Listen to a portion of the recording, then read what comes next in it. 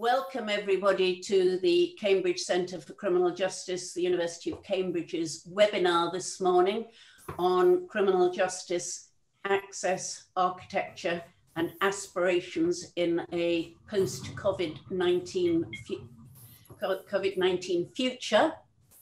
I'm Nikki Padfield. I'm a professor in the University of Cambridge and I am really grateful to you for being here obviously particularly grateful to our fabulous speakers who have, well, we have um, Carolyn, and it's nearly midnight in Australia, and Vincent got up early, and it's seven o'clock in the morning in Canada.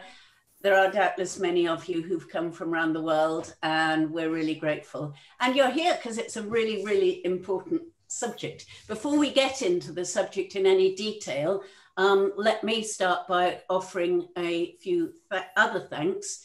Dan Bates will be invisible to you, I imagine, unless things go badly wrong. He's our technology expert who makes all of this possible, and I'm really grateful to him.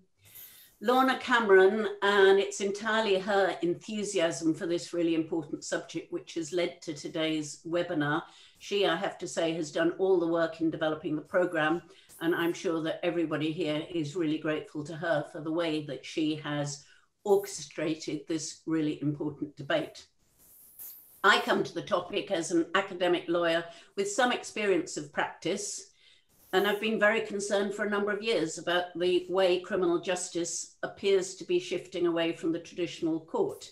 The pandemic has played a part, but the use of remote access technology or digital justice has been changing the face of justice, the way people can participate in criminal justice for a number of years.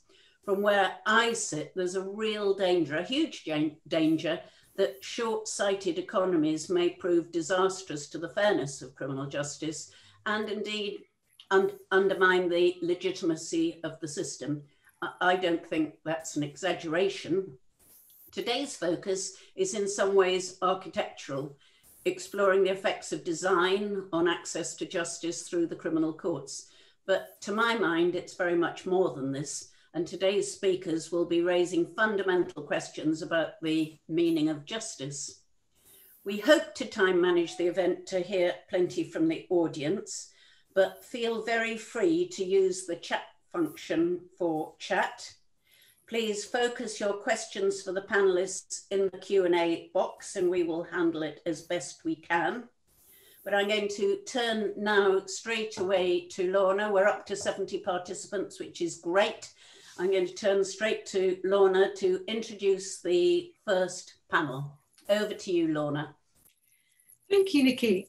um, in the first panel discussion, we are going to look at what fair access to justice means um, this is what we're all sharing as a common denominator and in our attempts to make things work or improve things in all of our different areas of work. Um, in this conversation, we have two panelists, Dr. Carolyn McKay, who joins us from New South Wales in Australia.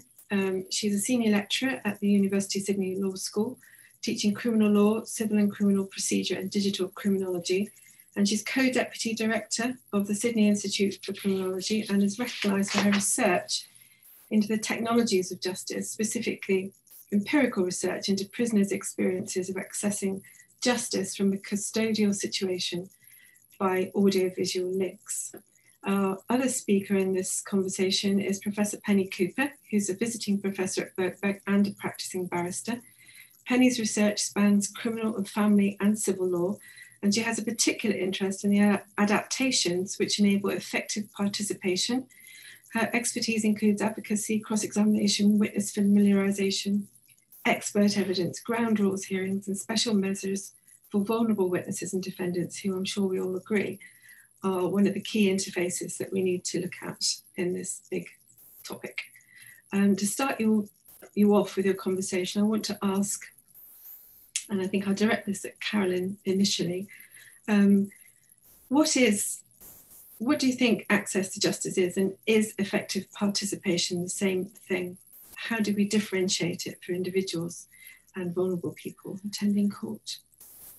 Oh, thank you very much, uh, Nikki and Lorna, for inviting me today. And yes, um, I think that we can differentiate access to justice and effective participation. I think access to justice, I see that as more having actual access to uh, to the, the legal advice, to, to legal representa- representation.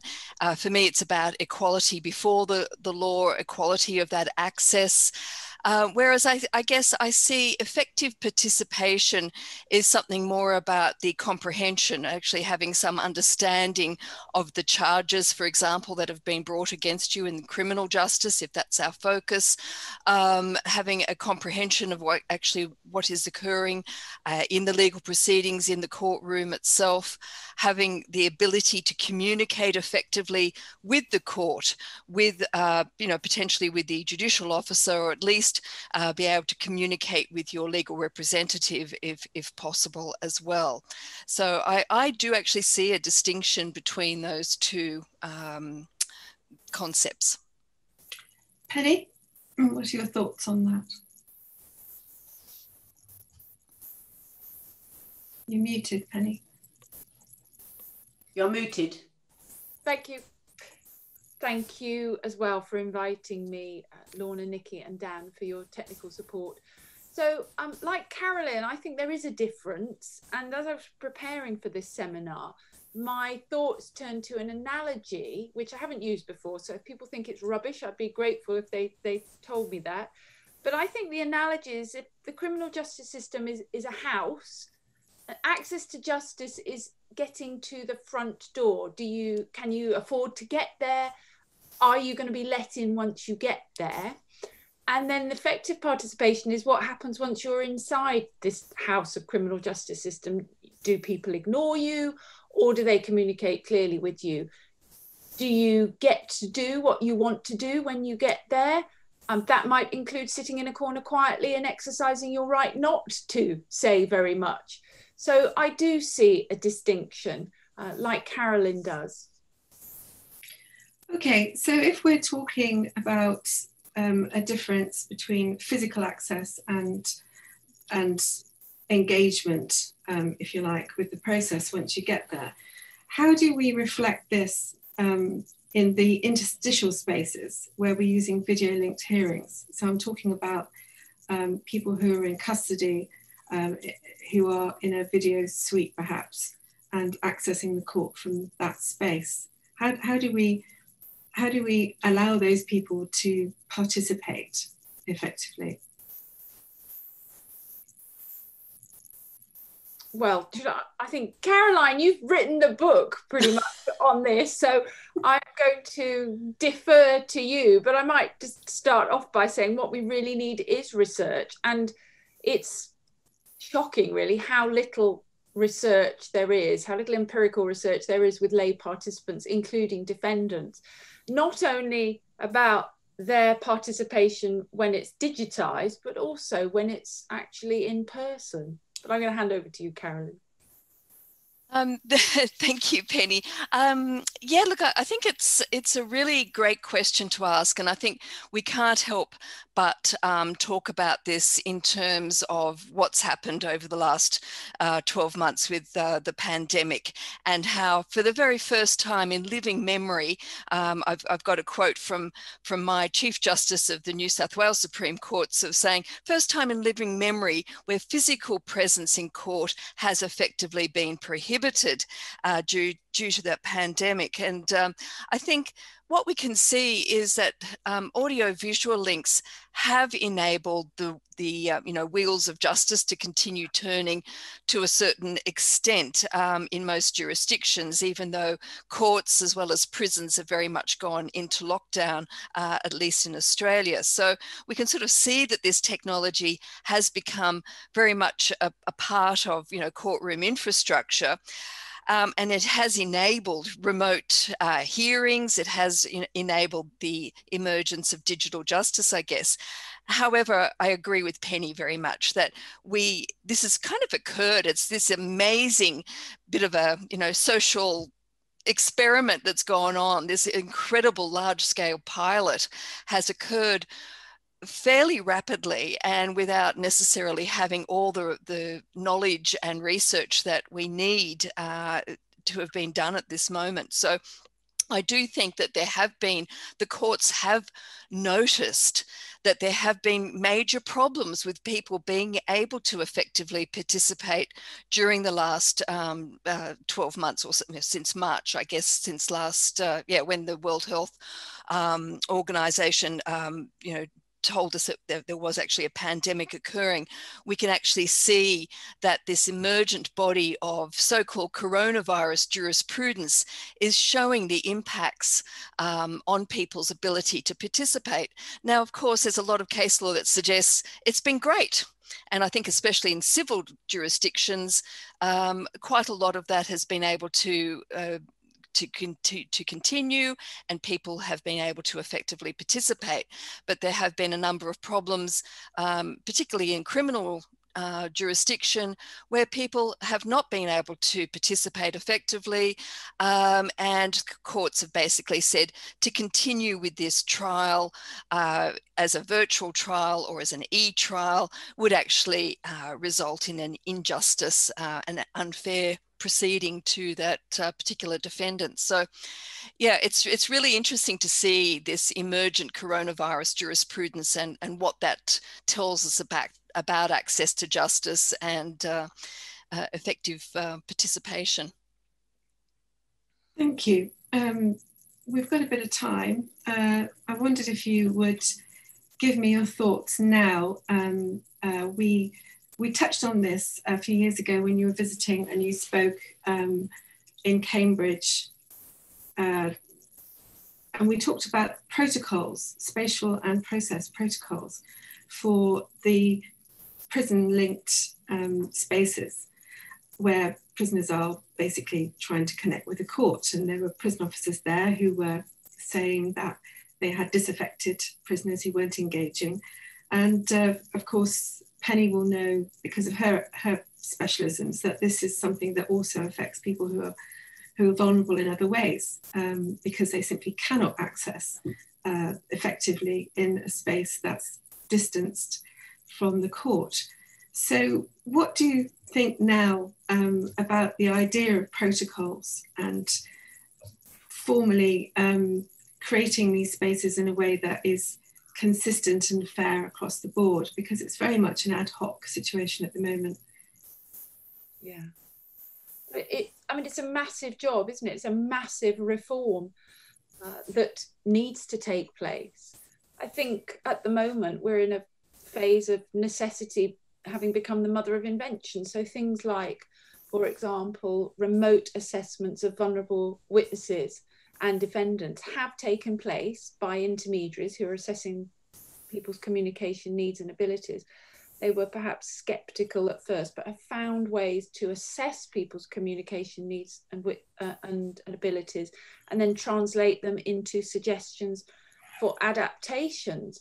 But then we come up against, I think, what at the moment is the most significant problem in the criminal justice system, which is the Crown Court having had real difficulty with jury trials, trying to construct them in such a way that keeps people safe and socially distant. So now we've got, on top of a system that was already um, short on money and suffering delays, is now even shorter, if you like, on resources compared to what it needs.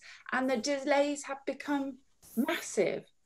So the challenge is, is absolutely huge needless to say, I don't have all the answers. well, we're here to explore. Um, none of us really has all the answers. Um, Carolyn, any ideas? Yes, I mean, again, the same is occurring in Australia that um, there's been sort of massive delays um, are occurring in the criminal justice system in particular. Um, I mean, it's interesting if we're looking at court protocols. I've actually just finished drafting a, a um, journal article called Glitching Justice, and I'm very much focusing on the audio elements of the audio visual link, whereas my earlier research has very much looked at the visual, but how about the audio? Um, and it's really interesting. I've looked at case law from Australia, New Zealand, and England and Wales uh, to sort of try and catch, capture a sense of what happens when the technology, from a sonic point of view, when it fails. And of course, I think there's massive uh, problems for procedure when you cannot actually hear what people are saying, when words um, disappear, you know, when the technology sort of glitches and things are lost, it corrupts um, transcripts, for example. But um, it also we're, we're now looking at these new protocols sort of perhaps coming back to your question lorna those questions of um, new protocols in court and of course the the waving protocols are very much coming up and uh, you know when you look at the cases there's a number of cases where uh, it's evident that a defendant for example has been histrionically waving to try and say you know I can't hear. Um, and uh, I think that's really unfortunate that uh, there aren't sort of really good protocols in place to, to make sure that people can continuously hear, especially if they are a defendant and they're defending themselves uh, in a criminal matter. Um, terrible audio issues, of course, with other parts of criminal procedure. Um, you know, where do we place uh, interpreters in a criminal, um, in a remote criminal um, proceeding as well can be very, very difficult. But I think it's really important that we do look at the plight of um, defendants and certainly other vulnerable participants in the criminal justice system. These are the people who bear the brunt of um, massive changes to the criminal um, procedure. We had to sort of very much make sure that we can try and um, develop new protocols to uh, ensure that they um, are included uh, in the actual procedure as much as possible. But it's again, like Penny, I go, yeah, it's a bit of a work in progress at the moment. Thank you. Um, I think it's something that we we could look at and that it ought to be formalised across the board in different jurisdictions, obviously. But it's the, the only way for it to be fair. But of course, when you start looking at how you make it fair, you have to really understand what it is you're doing and, and what you're replacing. You know, so if you're replacing an actual contact of a person in the space with that person in, in that space, and you're doing it over a video link, what is it exactly that you're trying to create a protocol for? You know, is it just um, that they can observe or are they going to be supported in actual participation in, in, in prisoners' cases in prisons in their own trials? So um, those things need, need to be looked at. Um, I'd like to, um, I can't see any questions uh, from where I'm sitting. So I wonder, Nikki, do you have any questions for me, the audience, that you might like to put here? I know that Carolyn had a couple of slides, so I think it would be very useful if she'd share her slides with us and hear a bit oh, more yeah. what she was planning That's to say. Great. Oh, okay. Um, can you see those slides okay? Mm -hmm. Oh, great. Um, yes, oh, thank you. I was just going to quickly give a bit of background to my research, which you've already really done anyway. So I'll just sort of very quickly say that basically most of my research uh, since my PhD has focused on the prison endpoint of the audiovisual links. So I've spent a lot of time in prison talking to prisoners about their experience of using this technology to access justice, to actually appear in remote courtrooms and for um, legal conferencing or just to get, um, you know, other forms of legal advice and as well as a, a multitude of other reasons. Um, these are just a couple of the um, publications that I've written that are relevant to what we're looking at at today. Um, I was, um, I just started mentioning about this article that I've drafted on glitching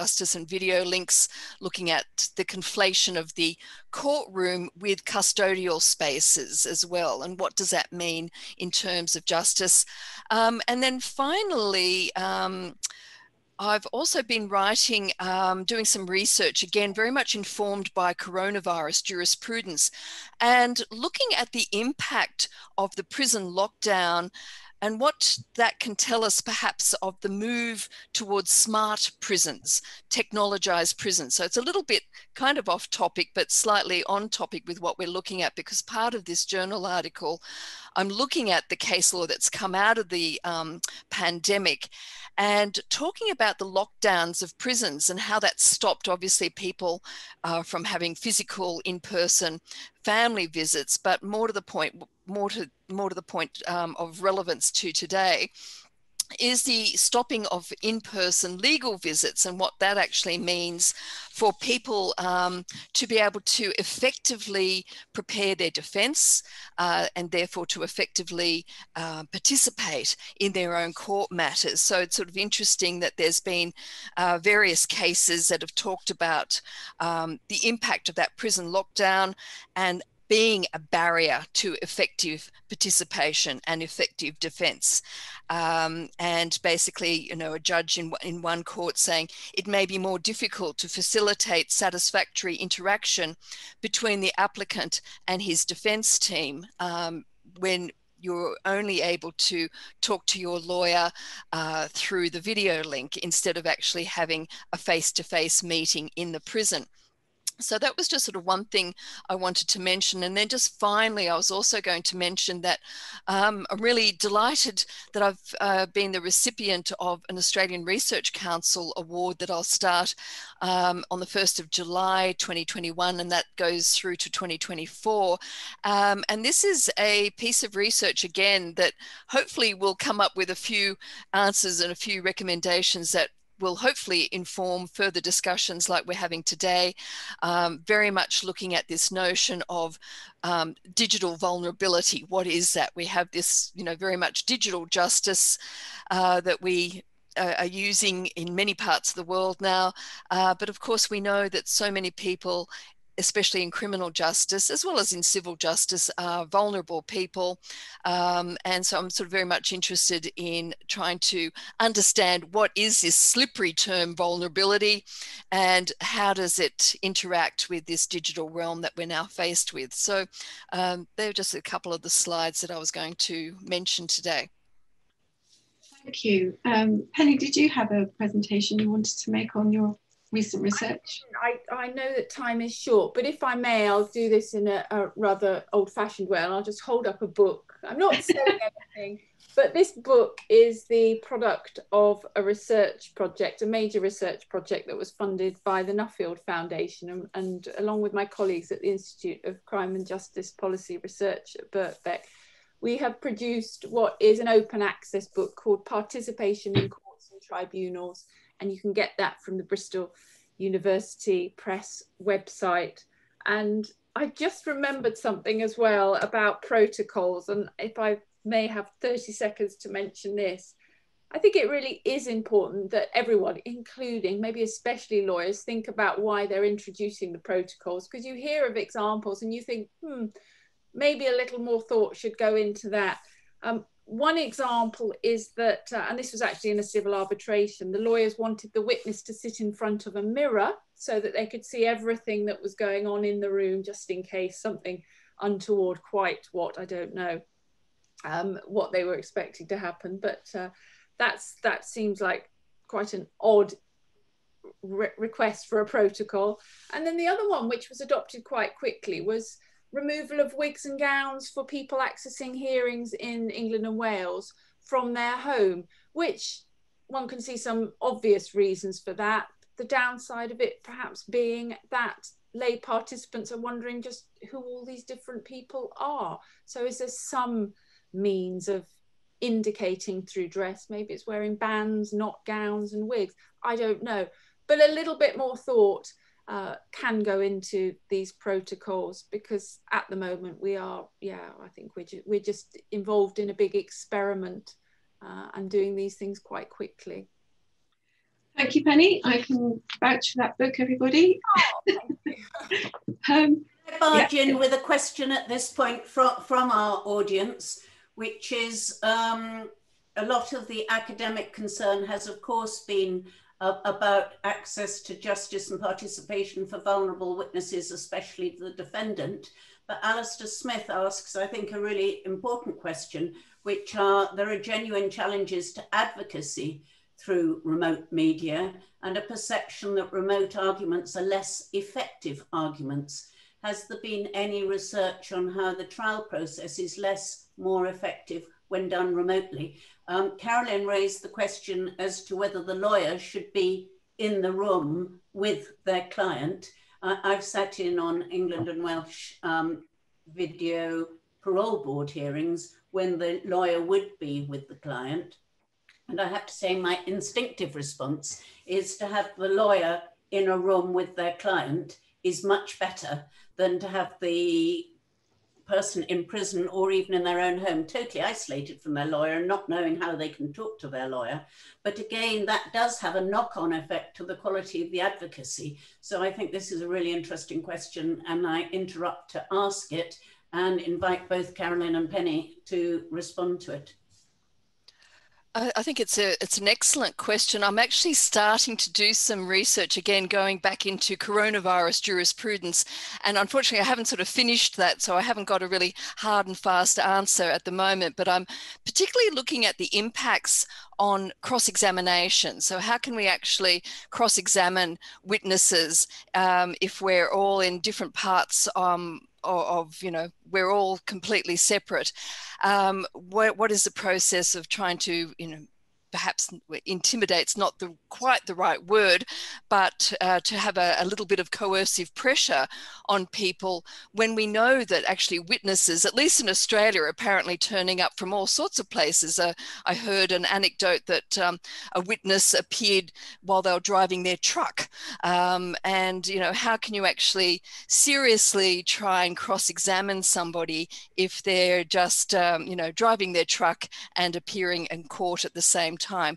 The, the actual um, spatial um, elements have totally gone from the gravitas of that courtroom and that ability to perhaps uh, apply some level of acceptable coercion against a, uh, uh, a witness, I guess. So um, I'm sort of interested. There have been some cases to suggest that uh, the inability to cross examine successfully in a criminal justice realm may end up being um, an unfair trial to um, a defendant, but I haven't sort of got to anything further than that at the moment, unfortunately. It, it, I, I, agree with Caroline. Caroline, it's an excellent question, um, and we need more research about it. The advocacy is one side of it. The impact on the witnesses is another side of it, and the impact on the fact finders. And we need cross disciplinary research, I think lawyers with psychologists, first and foremost, to understand what the difference is.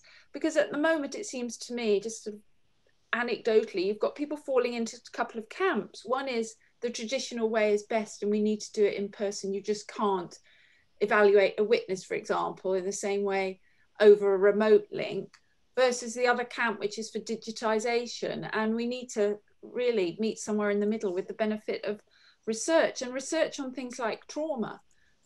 I've been aware for a number of years from working with intermediaries that trauma is something they're serious they've been seriously concerned about and trying to educate people about because it affects memory, it affects expressive communication, it affects receptive communication, it affects the way someone presents. All these things are really, really important.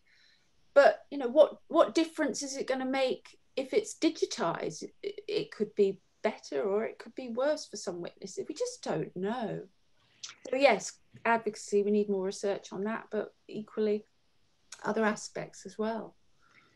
Thank so you. The answer to the question is that we don't have a clear research yet. This is an area which is astonishingly lacking in research.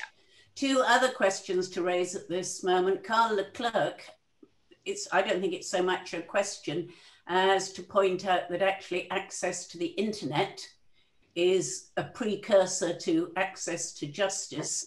So we sure do have to remember that. And then a really interesting question from Bradley Reed, who I don't know who Bradley Reed is and whether he works for HMPPS in um, England and Wales, pointing out that um, HMP, the prison system in this country, is investing 59 million in video conferencing suites. 10 have been built, some as large as 16 rooms with another six more suites on the way. The rationale varies, but a recent internal note states a number of benefits these are all focused mostly on victims and prison security improvements. Little suggests that it's concerned with access or participation for defendants.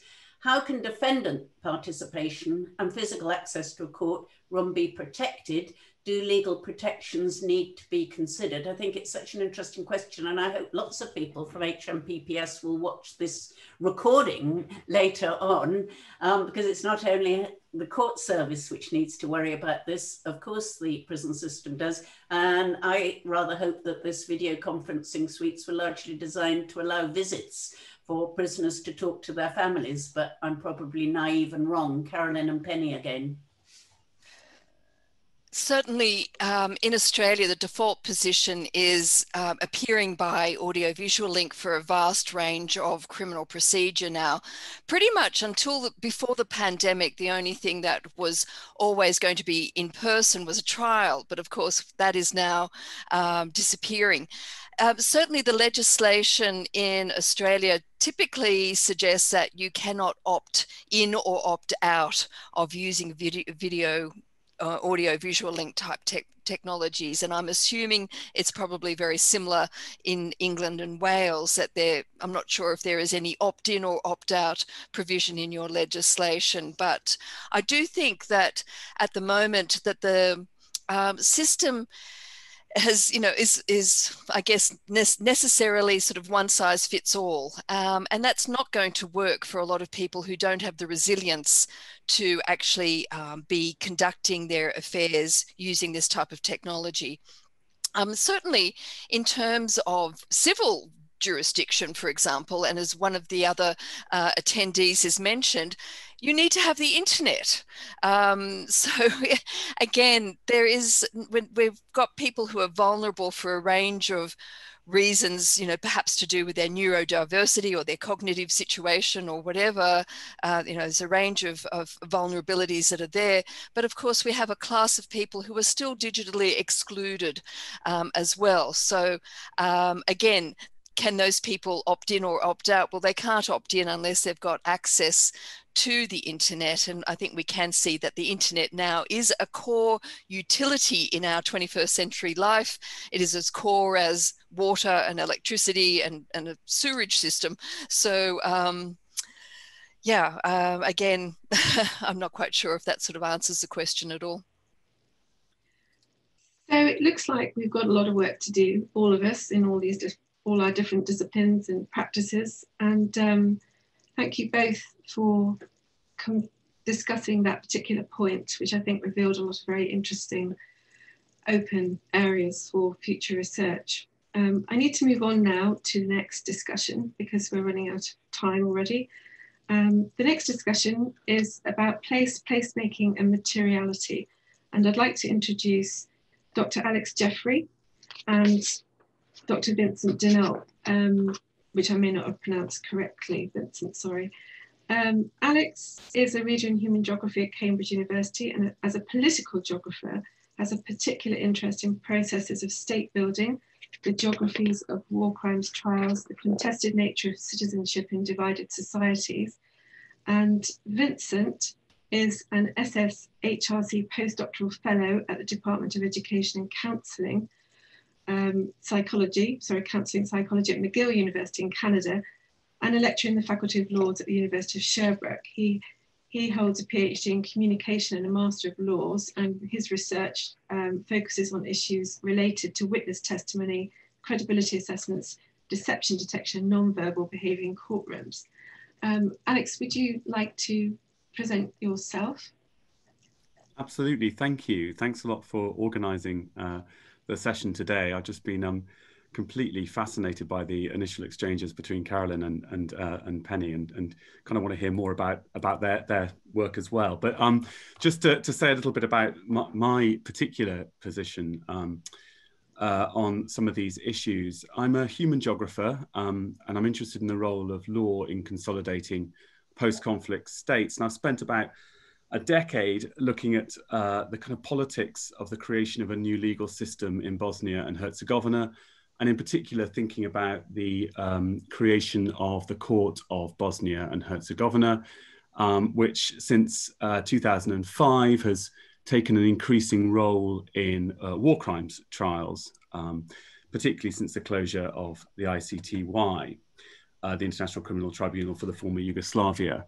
Um, so this this work has been interested in the the, the nature of court spaces, the uh, the kind of politics around the creation of legal new legal codes, as well as a kind of wider set of social issues related to the associations and organizations that have assisted in the establishment of, um, of trials. And I published uh, this work um, principally in a book last year uh, called uh, The Edge of Law in the Cambridge series um, in Law and Society. I would hold up a copy of uh, the book were I not in uh, our spare room rather than my office where the book is located. Anyway, um, so so just just quickly, what did I, I say in this in this book to give a framing for the for the discussion? Well, I was I was interested in in uh, you know the question of how a new legal system is established in a divided and antagonistic political context. You know, through what mechanisms can its legitimacy be um, achieved?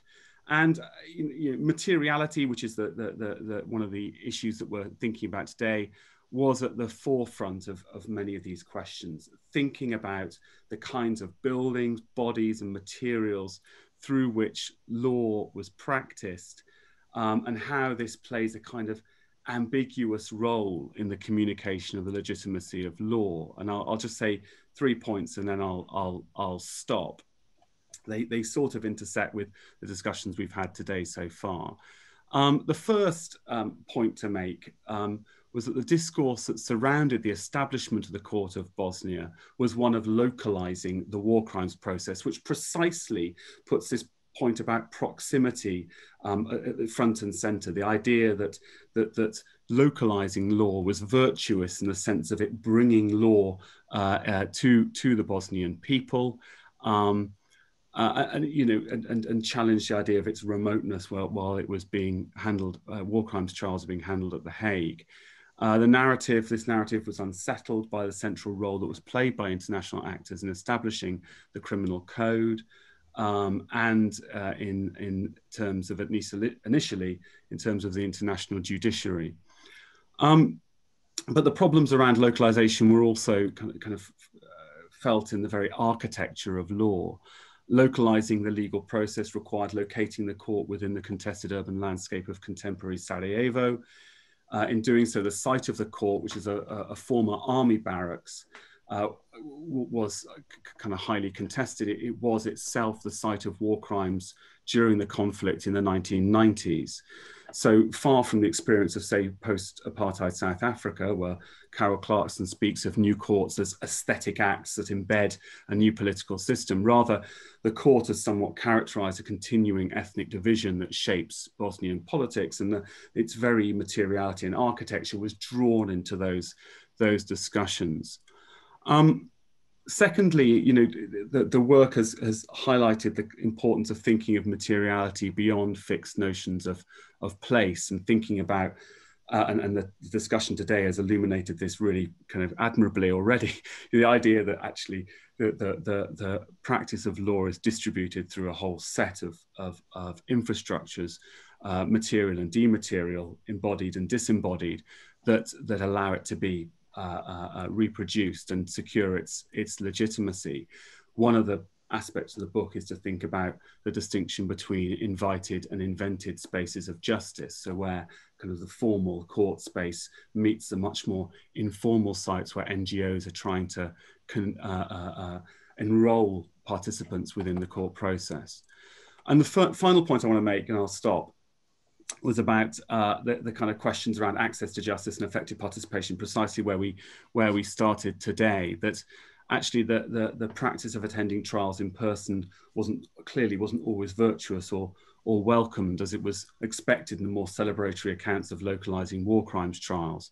Uh, across the research, and the book goes into this in some detail, the particular concerns around the re-traumatizing effect of having to give witness testimony, the lack of psychological support for witnesses, uh, dissatisfaction um, also around the leniency of, of sentences and how that was kind of performed within court space and the celebration of uh, celebratory acts by, by defendants.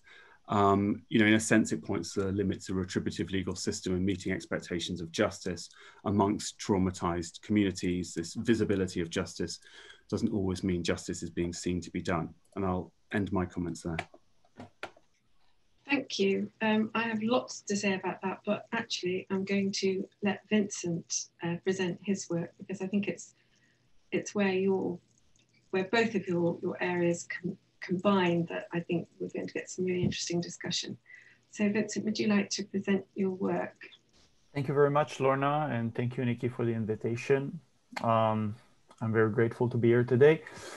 Uh, yeah, so in the in the past uh, quite a few years now, I've been working and studying the impact of nonverbal communication in courtrooms. It started with uh, my Masters of Law, where I looked at court judgment and um, moments where judges refer to nonverbal behaviors. And uh, the conclusion that I had made uh, in that Masters of Law was that, well, when nonverbal communication is mentioned in, in uh, court judgments, there are many times where um, the way it is interpreted is um, not totally in accordance with uh, scientific research. In other words, there's a lot of uh, wrong beliefs and stereotypes that are associated with nonverbal behavior. And then um, after the Masters of Law, I looked at, uh, in my PhD in communication, I looked at uh, deception in court. And essentially what I looked at was deception judgments, um, perjury judgments, sorry, where uh, judges have to decide if a witness lied or not in a previous trial. And uh, what came out of the data was that, again, when it comes to deception judgment, so when judges have to decide if a witness lied or not, there's also a lot of uh, uh, bias and stereotypes that are used in deciding if someone is truthful or not. And uh, besides, uh, between the, the Masters of Law and the PhD in Communication, I, I really uh, try to focus on the impact of nonverbal communication in courtrooms. And as uh, some of you probably know, there are thousands of peer-reviewed uh, publications on nonverbal communication. Nonverbal communication is a very, very, very large field of research. And unfortunately, it is the impact of nonverbal communication in courtroom is not uh, studied a lot. And with the virtual trials that are now uh, getting more and more popular, it brings back that question, which was in the past years really understudied. So, what is nonverbal communication and how it affects the courtroom interaction? What is the impact on the judge, on the witness? Uh, what is the impact on uh, the lawyers? Um, it, it brings back first and foremost the question what is nonverbal communication? And nonverbal communication essentially refers to communication without words. So that means it means, yes, design, arrangement of courts and courtrooms, the appearance features of witness, of judge, of lawyers, of defendants, security guard, court clerks, the nonverbal cues, the behavior, and what is the role of all that? what does the literature on nonverbal communication says about the impact of behavior? Well, behavior help us display affect, reveal attitudes, uh, regulate interaction, manage impression, exert interpersonal control. And I would like to focus on two functions that I think are very important in court. Nonverbal communication plays a huge role in creating empathy on the one side. And on the other side, nonverbal communication also play a huge role in creating authority. And there's a fine line in in in the in in the, the in empathy between empathy and authority. For example, the judge on the on on on, on one side, there there's need to be some authority in how the the trial proceeds. But on the other side, the judge also has to show empathy. For example, when victim has to testify in a way, in a way, so with all um, uh, with all the other constraints. But if you want someone to speak and explain the, an experience, be, showing some kind of empathy is very important so that the person can and will disclose information. One thing that is very, very important on the also to, to, to be aware of is that all those functions, nonverbal communication is very important, but please, people have to stop thinking about nonverbal communication just as a way to detect lies. There's no cues, nonverbal cues to detect lies. This is science fiction. So let's forget the impact of nonverbal communication to detect lies. Let's just forget that and think about all the other functions of nonverbal communication, displaying affect, revealing attitude, and so on and so forth. The other thing that is important about nonverbal communication that I would bring to this table for discussion um, is that most of the nonverbal cues and behaviors and features, we all appreciate that spontaneously. So on a daily basis, we use nonverbal communication in our interaction. It regulates our interaction. It helps us understand each other's, but all most of that is done very spontaneously.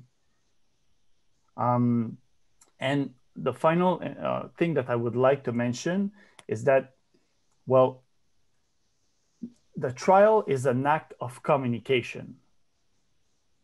So this is really, really important judges communicate with the witness, so witness communicate with the judge, lawyers communicate with the witness, and so on and so forth. The public uh, can see trial or hear about trials. These are all acts of communication. If you remove the nonverbal communication from the equation, it changes the act of communication. And how does it change it? Well, what research shows about nonverbal communication is that it is extremely important in our daily function of understanding each other. Unfortunately, with virtual trials, as with trials in person, there is, again, I want to mention it, there's not a lot of research on nonverbal communication in courtrooms. Well, if virtual trials now begin to be more and more popular, my intuitions tell me that more and more researchers will look at the impact of nonverbal communication. And this event today is an illustration of this impact that is getting more and more attention. And um, please don't take my words as an opposition to virtual trials. It's just that I would, I and other researcher would probably like to minimize the collateral damage of virtual trials that we might not be aware of today because of a lack of research. So that's what I would like to say for the moment. Thank you, Vincent. That was most illuminating. Um, there is commonality between your areas of, of expertise. Um, and I, I particularly look at the intangible cultural heritage of courts. And that's because I need to find a way to understand how the rule of law is actually communicated and how justice is accessed in space or virtual space or any kind of space in order to um, look at the next iteration of courts, if you like, that are coming sooner than we think. Um, so, for both of you, I'd like you to discuss very briefly whether you think materiality is a form of nonverbal communication, given that we are talking about um, the difference between a physical court and interface, if you like, between society, whatever is going on in that society, whether it's in a war-torn civilization or, or an established democracy. Um, that interface at the moment is represented by a physical court building, and people are reacting, relating to that, along with all of its material qualities, which all communicate at different levels in different ways. So, is that, Vincent, do you think, a form of nonverbal communication? Well, in, yeah, uh, thank you, Lorna, for the question. Um, I think uh, this is my opinion based on the knowledge that I have read, uh, the peer reviews that I have read in the past. But um, courtrooms, uh, court, uh, the court, so the physical environment where the witness is testifying, where the trials happen, is nonverbal communication. In a way, well, researcher could argue that well, there's not the element of intention uh, something of an intention similar to gestures or facial expressions, but uh, still um, the courts, the place where witness testify, the, the place where the judge sits, so uh, a little bit in the front of the room, a little bit up, these are all elements of nonverbal communication, which creates impressions and communicates information to uh, everyone in the room and the public. Alex?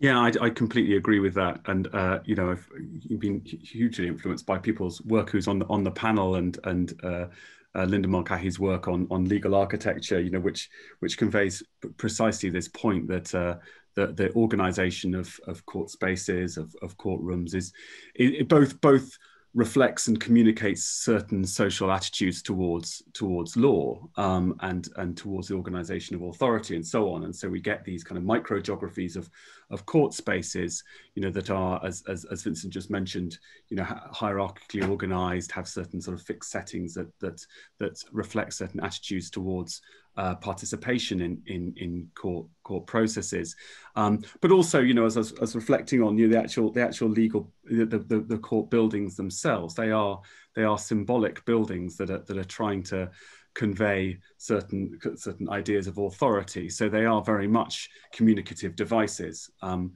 albeit not textual or verbal, but architectural. Okay, I think we have some questions um, which we may uh, like to, um, Nikki, would you like to filter questions? The questions that we have in the questions and answers are actually more referring back to the last session so far. So well, I was I, going to bring in Jodie Blackstock's very important questions later on. But yeah. I, I, suppose actually we can um, bring it into this. Um, one of the things which is wonderful about this discussion is that we all come from different starting points and we learn other people's languages. So Alex just talking there about micro geographies and so on is new, un, unusual language for me as, as a criminal lawyer through and through. What Jodie Blackstock said in her um, comment was partly to bring um, attention to the ju justice, the NGO Justice's virtual trial, uh, and the test that they did there. Feedback was that wigs and gowns should be worn to aid the sense of solemnity. It's a really interesting question whether we want to have wigs and gowns, I think, in courts. The arguments are difficult to weigh up. Um, please do ha have a look at the academic evaluation by Linda Mulcahy, who has just been mentioned now, and Emma Rowden, who's going to be speaking in a minute. This has not been adopted as yet because of reluctance to separate participants. But the Scottish example of having hybrid hearings where juries are in a separate setting seems to be working as a solution. Do speakers have any views on this? Well, you know, this is an informal seminar session. I'd be very happy if the earlier speakers wanted to come back, but I think I'll dump it straight on Alex because of his micro geographies. I don't quite understand what happens when you have a court which is then chopped up into different courts.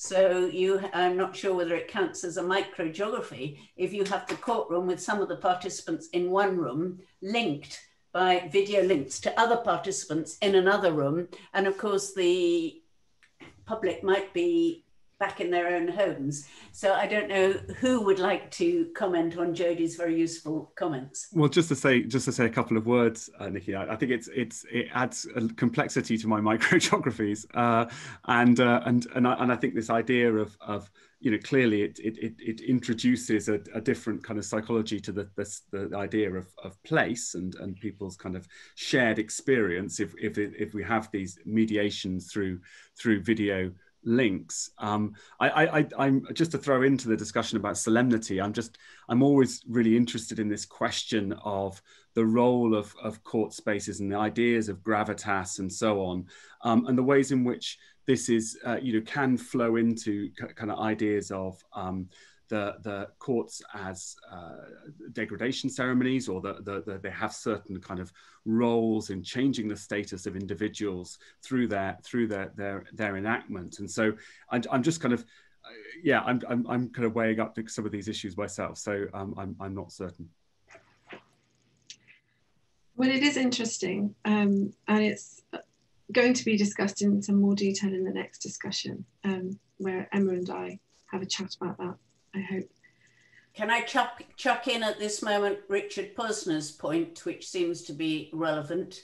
If policy in different adversarial jurisdictions is seeking to embed virtual hearings, especially in trials, then perhaps we should know whether access to justice and public confidence would be better shaped through an inquisitorial system of justice in criminal law and he's inviting views there. And of course, the first starting point has to be um, what we mean by inquisitorial as opposed to adversarial jurisdictions, because certainly in Europe, um, we have been growing more similar in many ways and borrowing in um, bits from different systems. So I think we can't see pure adversarial or pure inquisitorial models. But I do think it's a really important question in relation to what we're talking about today in virtual courts, whether we have to change the whole way we think about the order of questioning, the relative power and status of the performers. And Alex and Vincent in particular, would you like to respond to that? Yes, um, well, that's a point that I never thought about, but it makes total sense to think to reflect on these possibilities because yes, uh, mm, virtual trials change the whole interaction. And if it changes the whole interaction, why not um, uh, question the possibility of what would be best for the justice system? I'm, I'm, I don't have an answer yet, but really it brings to my mind something that I really never thought about. And uh, the judge being more uh, questioning more, asking more questions. Um, would it be would it be better? Um, really, I'll, I'll, have to have a think about that. but that's very very interesting idea. Never never passed to my mind. I just say just say one point, and and and it, it may yeah it may or may not be relevant, but but you know the, the, the question is allied to to the kind of broader question of kind of lay participation in in the in the kind of adversarial trial process and the the use of the use of juries. And and I think that that there is the the the challenge of um, not just kind of virtual hearings, but increasing complexity of, of evidence in cases that that then cr creates the challenge of introduce of, of jury trials. And so, I, th I, think while it's slightly off topic, I think it does kind of start to, to stray into some of those some of those kind of wider questions of um, the the uh, uh, admissibility of certain forms of evidence. Um, you know what what kind of testimony is is considered appropriate testimony um, for for uh, viewing by by juries and being weighed up appropriately by juries. So um, yeah, I think it's a, an interesting area of discussion. I think it's going to be a balance between you know, what's leading and what's following you know, are we redesigning in order to create a better a better experience or are we going to let the technology lead us and mm. basically dictate what we end up doing so those that's why we need research right now because we, we can't really say for sure what we're losing and what we're gaining um, that's my take um, that's my position but thank you both for that that discussion. Um, I think Carolyn might be wanting to come in with a point on that last question. Are you, Carolyn? I saw you come back into real life, so I thought you might want to comment. I was actually the earlier question um, looking at the um, the uh, sorry where is it it's disappeared on me? Um, looking at the um, solemnity of the actual court um, that that particular question about the hybrid hearings and going back to that justice report as well. I just was purely wanted to make a comment. Actually, um, the number of cases, at least in Australia, perhaps they're better better behaved in in England and Wales, but in Australia, there's been so many cases of people acting in a very disinhibited manner in uh, videos, uh, in video links. So especially if they're sort of appearing from the custodial suite, there's been you know cases of people deciding to you know take their clothes off or turn their back um, to the to to the uh, judge, um, and so sort of it's really interesting the difficulties in trying to manage, which, which also ties in with someone else's question. I think that problems of trying to manage a virtual court when everyone is um, spread out um, in, in different places and where you're not immersed in that gravitas. Uh, you feel perhaps like we all do um, online that you can sort of feel a little bit um, free to act as you want to do and you don't necessarily feel that you're subject to the authority of the court. So I think it can be quite difficult um, in these situations so I just wanted to actually address that um, earlier question as well, that sense of solemnity and how that's perhaps missing. We have a comment from um, a judge in Quebec who says, um, this is Pierre Gagnon, I'm not sure if I pronounced that correctly, who says he hasn't experienced major drawbacks gathering evidence and submissions in the course of virtual hearings. However, he is concerned that some participants may come out believing that they didn't get a real, complete, and fair hearing. So his very limited solution, he admits, is to open a second camera targeting his face, which sounds some, like something that we recognize from the uh, Justice virtual trial experiment. Um, Pierre, if you'd like to look that up, I think you might find something interesting there. Um, but thank you um, Nikki is going to take over now because it would be somewhat self-serving to introduce myself. Um, Penny, you came back to life also. Did you want to last comment on that last session or are you simply listening and you need to unmute yourself? Yes, it was um, a very quick comment, and that comment from the judge in Quebec sort of pre preempted what I was about to say because we heard Carolyn talk about people feeling disinhibited, but I think they can feel disenfranchised as well, so that they're not participating, but more of a feeling of justice is being done to them, especially if it's a remote hearing, which you do get remote, uh, sorry, a hybrid hearing, where you get the lawyers, for example, in the courtroom with the judge, but the hybrid part of it is that other people, like witnesses and parties, are dialing in remotely. So you could see that disinhibition, disenfranchisement coming to the fore perhaps as a result of that. That's all I wanted to say. Thank you, thank you. Well, we will then move on to our third section of our debate today. I'm really pleased that the um, discussions, the presentations are developing beautifully. There are some really interesting questions coming. Um, Bradley Reed, please read his second input on that. And then Anonymous um, attendee who raises the really important point about um, what anonymous attendee sees as uncritical support from judges, court officials, and legal journalists. Well, that's what I think we academics have got a duty to do, which is to try and make the debate sufficiently interesting to engage those who are not yet engaged with the debate. So in this section, um, it's great pleasure to introduce Emma Rowden and sort of introduce Lorna, but she's already been well um, visible already. Um, Emma has been less visible today, but very visible in the discussion of this topic. She um, will, I hope I'm not going to introduce you at any length, Emma. I hope you will introduce yeah. yourself. I'm really pleased to see you here today. Um, you're now based in England at Oxford Brookes University, having yourself been in Australia for many years. And it's really useful to have your contribution. I'll say nothing more about Lorna today. She's going to speak second in this section and can, of course, put herself more in context in relation to her work as an architect, a senior lecturer in um, architecture and design at the University of Lincoln, and as a PhD student. Um, it's a really interesting position to be in, I think. But we'll start by inviting Emma to say what you want to say and to comment in what you've already heard this afternoon.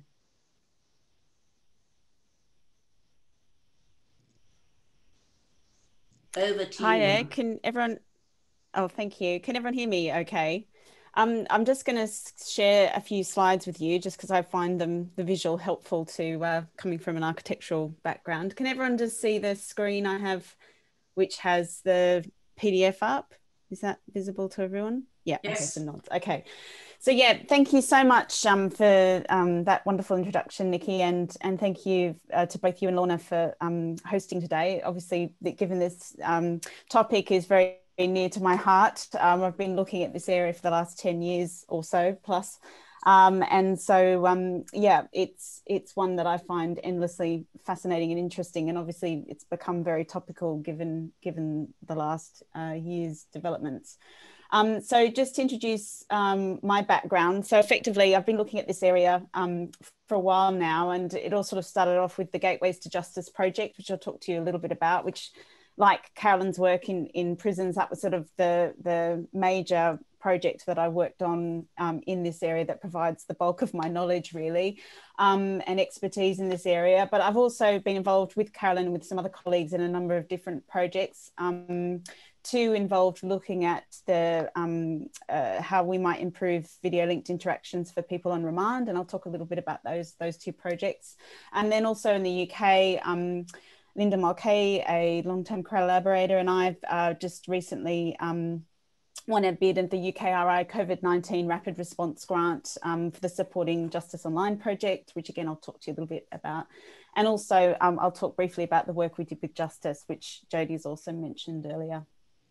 So just sort of some further reading. Um, the book Linda and I produced um, recently, The Democratic Courthouse, which looks at the last sort of 50 odd years of court design in the UK. Um, and really it sort of looks at the moment just before now where the courts uh, for the last sort of, uh, I think since the early 2010s have been undergoing this rapid modernization project, which COVID has really you know made it sort of more urgent that that this work um, sort of come to its its fruition but but effectively we looked at the sort of um, the the moment before all this when when the the UK was investing in in the infrastructure of courthouses it was the last big monumental building program. So our book really examines that and the kind of lessons we can learn from the mistakes I think really that were made during that that, that era um, in terms of how we can make our courts more more democratic, and then just some um, other research, um, uh, other uh, publications that came from the Gateways to Justice um, project, really highlighting two areas that hadn't really been looked at much in the literature at all, which is the impact of audiovisual links on experts and the idea of an expert performing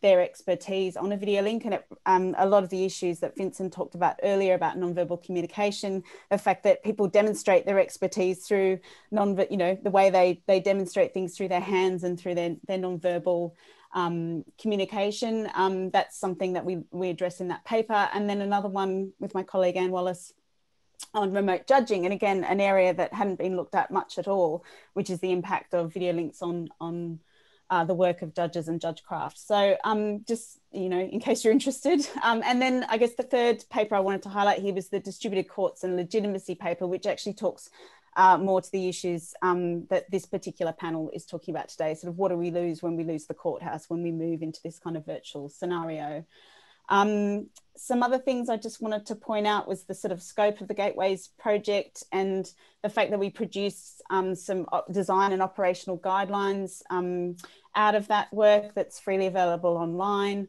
And then just um, to highlight some of the work that Carolyn and I did together with some colleagues at UTS, um, looking at um, how to improve the, the court experience for those on remand in terms of the preparation that you give to them for the remote encounter and how that might actually improve, improve things. And that included um, just some basic information about what is AVL, who's who in the courtroom, and, and how are you going to appear in the court. And it also included some pre-connection videos and some, um, I guess, uh, sort of training videos um, introducing what, what, the, what the remote encounter would be like. Um, and that sort of work has sort of um, sort of carried forward now, um, both in terms of looking at the Justice's jury, uh, virtual jury trial, which um, Jodie mentioned earlier. I really encourage you to have a look at it. I mean, one of the things that I found quite groundbreaking about it was what an even level playing field that um, that this a lot of the uh, issues that had been raised in my previous research about the, the, the sort of issues, which I'll talk a bit about in a minute, um, seem to be sort of in a way by putting everybody remotely so that there isn't an us and them sort of us in the courtroom and them who aren't in the courtroom who are beaming in remotely that it, that it did create a very different kind of geography. And i think that's something that alex might be interested to look at in terms of his microgeographies. Um, so yeah for those of you who who haven't looked at that that research and that evaluation um, i i uh, recommend you have a look at it. And these are the three reports that uh, Linda and Wend um, and I uh, produced on the back of that. And then just going forward, this new project that we're looking at in terms of the Supporting Online Justice project, um, where we're looking, we're, sort of shifting the focus away from criminal courts and looking more at family courts and tribunals and, and the ways in which we might better educate lay people through that kind of audiovisual approach um, in terms of how to improve their kind of skills and, um, and their capacity to engage and effectively participate in an online setting. Um, so I'll leave it there in terms of my introduction. Maybe I've got a few more slides that maybe when we get to the sort of the bulk of what it is we're talking about today, um, Lorna, I'll, I'll hand it over to you for for a little bit to, to introduce yourself and.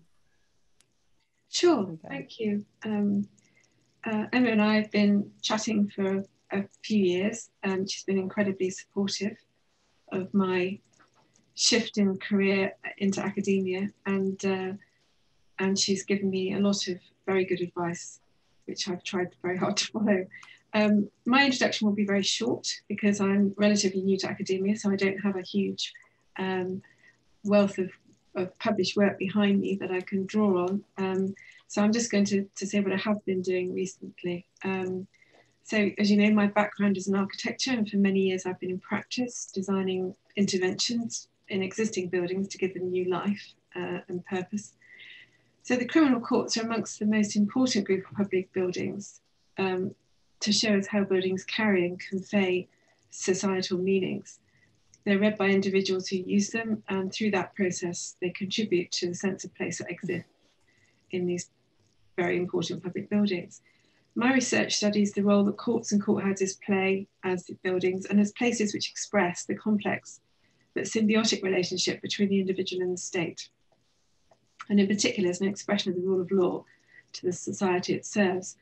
This relationship is tested through both architectural analysis and socio-legal approaches in my research, and recently through the applied design process um, to develop interventions to enable jury trials to resume um, in the height of the pandemic crisis last year. Um, this was achieved through a judicial working group led by Judge Guy Kearl, QC, Recorder of Leeds, and the public published work was entitled The Nightingale Courts Report.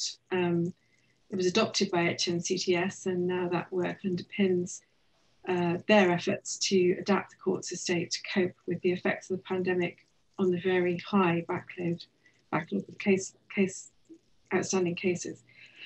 So the work to identify host buildings for the new Nightingale Courts allowed me to contribute my design expertise to help resolve the problem of how to reinstate jury trials and to provide a model for courts of different levels of security and in different cluster arrangements to be located in host buildings, such as the NAC theatres, lecture halls, cathedral complexes and guild halls across England and Wales.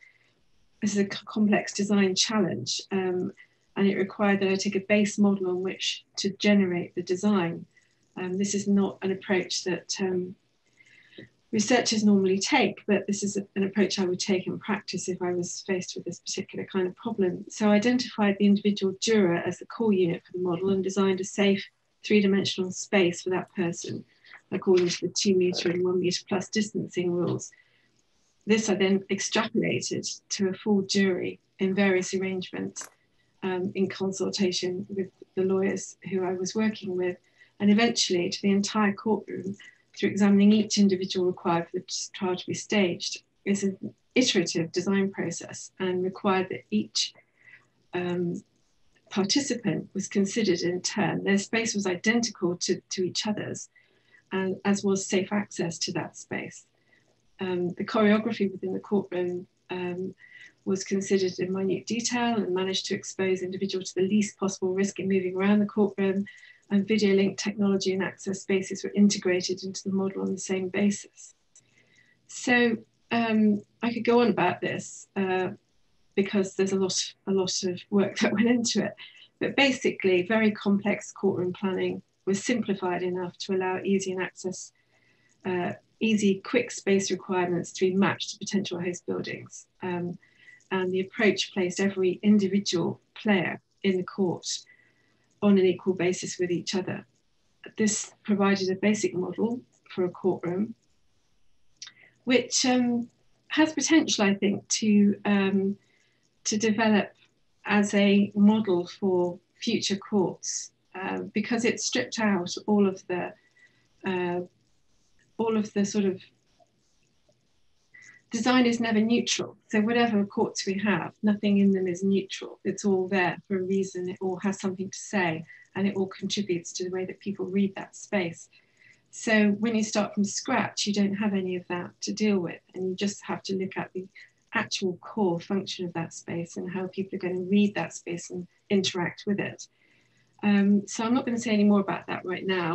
Uh, and I'm going to ask Emma about her virtual jury experiment that she ran with Justice and the conclusions that she came to with, with Linda in, in the report and ask, you know, can we really, can we do without physical court spaces altogether?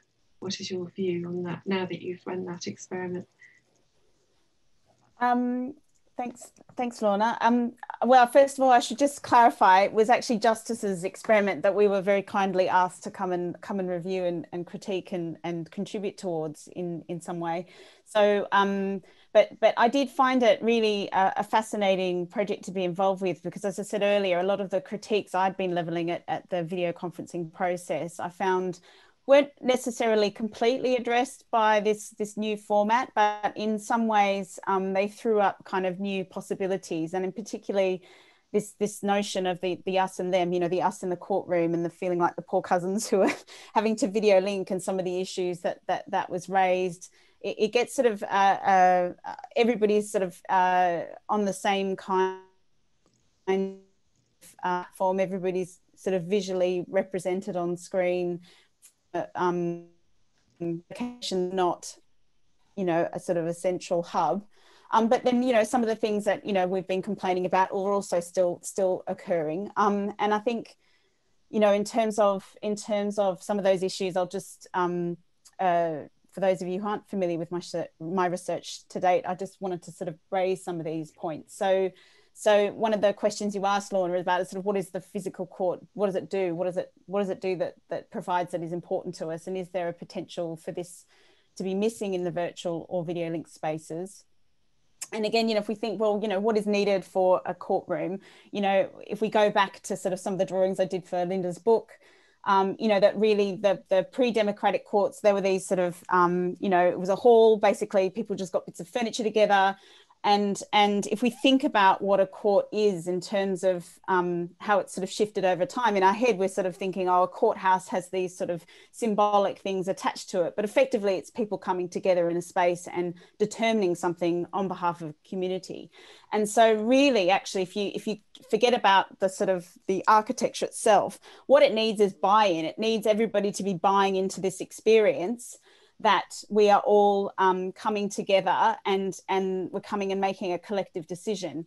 Now how do we get that buy-in? Well part of it's creating the sense of legitimacy and and part of it is creating a sense of um, that, that that the speech acts that happen in this setting are going to have an effect. And we do that through all sorts of, of, of um, you know, as, as theorists might talk about this in terms of a network, a network of relations, an assemblage, that, that we give sort of weight or prominence or some kind of as a collective, we all agree that the judge, when he, when they they make an um, a, a proclamation, you know that this is occurring, that that has some weight outside of this setting. So in a way, if we think about, you know, part of that is about these sort of environmental behavioural cues, but a lot of it sorry if I got is, is about the creation of this rite of passage, this liminal zone where the stuff that happens within a court space, however defined, whether it's virtually or whether it's actually in a in a physical setting, that something's going on there. People have particular roles, and and stuff that happens in that setting has an impact outside of it. Um, and part of the reason, part of what we do that is the creation of what's called a civic space in Goodsell's terms, um, that there's um, you know and that that in terms of architecture can happen in all these sorts of ways in where we look at sort of a ceremonial space we look at and ceremony again doesn't necessarily need to be in the architecture itself. It can be inhabited in the rituals it can be inhabited in dress. There are all sorts of other kind of signifiers that can stand in. So i mean when i was doing my research and talking to judges you know i spoke to one land environment court judge. Who talked about going out on site and recreating the kind of sense of a court through the way they spoke to people, through the way they explained what was going on. So there are sort of different um, different ways in which the notion of court can be uh, created that is devoid of space you know? So i think there is some potential in in the virtual setting for this to be recreated but we might lean more on these other tools at our disposal. We might lean more on dress. We might lean more on you know the background the backdrop to our surroundings. We might lean more on the kind of rituals and protocols we set up for establishing that formal setting this civic space um, and and I guess, but we don't want to lose what happens in the court space. You know that part of it is a formal arrangement of people where people know their roles and know what happens in this communal organization. But it's also about the environmental cues that that that people are triggered to have particular behaviors and that's sort of really what the courthouse in a way i think traditionally has sort of stood in for for us understanding those relationships between players but also in terms of triggering formal behavior which is why when we've been talking about video links and people sort of maybe not not really appreciating that they're in a court space or appreciating that they have to behave in a particular way because when they're having these kind of conflated behavioral cues as you see here we've got the discrete court and the remote space. Well actually if you're in a remote space often you're getting this kind of confliction between a formal setting that you're looking in at and this kind of you know you know haphazard space that you happen to be in whether it's you know at the moment uh, sort of i'm in my office or or um, you know somebody else in it has appeared um, you know in a magistrate's court as a expert witness as a doctor but from the sort of office t uh, from the from the hospital t space you know so sort of seeing people off on the side. So there are all sorts of ways in which um, the ways in which the video linked encounter can sort of transform some of these norms, it's up to us to kind of re redesign in a way what is it that we're leaning on to create that sense of community values that are that are uh, creating that sense of legitimacy of the of the court encounter. I think I'll, I'll leave it there really. Thank you. a bit of a tangent. Thank you. Um, one of the things I wanted to talk about was, given all that and given given our approaches, do you think the courts have the power to be transformative? Or are we simply required to make them neutral backdrops to a show that's being played out by all the different players that are involved? Architecture is never neutral, as you know. And no, ab- absolutely. And look, some of my work in Australia, I think, you know, the, the sort of ideas I've been been exploring in terms of particularly you know, because in a way the court should be emblematic about what a country wants to say about it, or what a, what a sort of jurisdiction wants to say about itself, both to to basically to its citizens. You know, what values as a community do we want to uphold, and and how do we express ourselves? And so, you know, when we see um, in Australia, you have some new court buildings where um, Aboriginal artists are invited in to sort of paint paint the the walls of the court space, or you have um, you know in a, in a, a sort of similar. Uh, uh, example, you know, in terms of the use of art, um, you know, in a, in a, magistrate's court, a particular um, a story from a particular magistrate who worked um, worked in the areas spoke of a, a, um, a young Aboriginal boy who'd gone through um, a, a, sort of rehabilitation program and gifted to the court uh, an artwork that they had done, and so you know people in the court now sit underneath this artwork that this person had had um, delivered to the court. So there is, I think, um, a great transformative potential of courts for for jurisdictions to reimagine themselves, but also to kind of keep that dialogue with its citizenry about what is important. You know, what is what are the values that we want to be upholding. Um, you know, in in our justice system. Um, so I, absolutely, I think there is. Um, a, a, potential transformative power of of the courts, and I guess that becomes more challenging, perhaps, when you're distributing that space, when you're not having an architect coming in there and saying, okay, this is what the court needs to look like, um, um, but but everybody's sort of being connected. But I think again, as I say, you know, if you look at this as a network of symbolism, you know, might be in the way in which we we um, we relate to each other. That respect is amorphous. You know, it's not necessarily something that that is um, has to be expressed only in bricks and mortar. It's also in how we how we treat each other, how we how we denote dignity and respect and those sorts of things can can be um, i guess expressed in in multiple ways. Yeah um, one example i can think of is the uh, supreme court in south africa where they constructed the new court out of the remains of one of the most notorious prisons from the apartheid period. So a lot of the graffiti from the prisoners is still on the walls the, the steel structure is still there and it's in the same place so it's in the landscape that was, you know, a result of those effects. So it can be read in a particular way. And I think, Alex, your experience in uh, Bosnia, Sarajevo, um, was is probably similar. Do you have anything to add?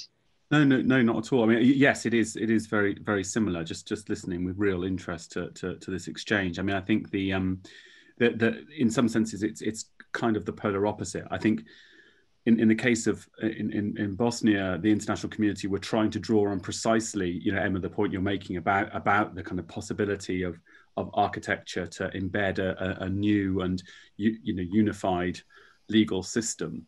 Um, unfortunately, you know, in in the in the kind of in the years since, uh, uh, you know, um, different ethno-national politicians have have sought to kind of re-inject kind of forms of antagonism through uh, interpreting the architecture in different ways you know? So so it's it's the idea of, of, of the, the, kind of the, the, the kind of ideal that this would uh, establish um, a, a, a, unified political and legal system, but but actually through its interpretation and particularly through through the issue that it was the site of um, of, of war crimes um, perpetrated against um, uh, Serb uh, prisoners of war, then this this led to uh, a kind of reinterpretation and, and, and, a suggestion that this was, in some senses, uh, biased against kind of uh, the, the, the, Serb community. So it's kind of interesting that symbolism, I suppose, can cut both ways.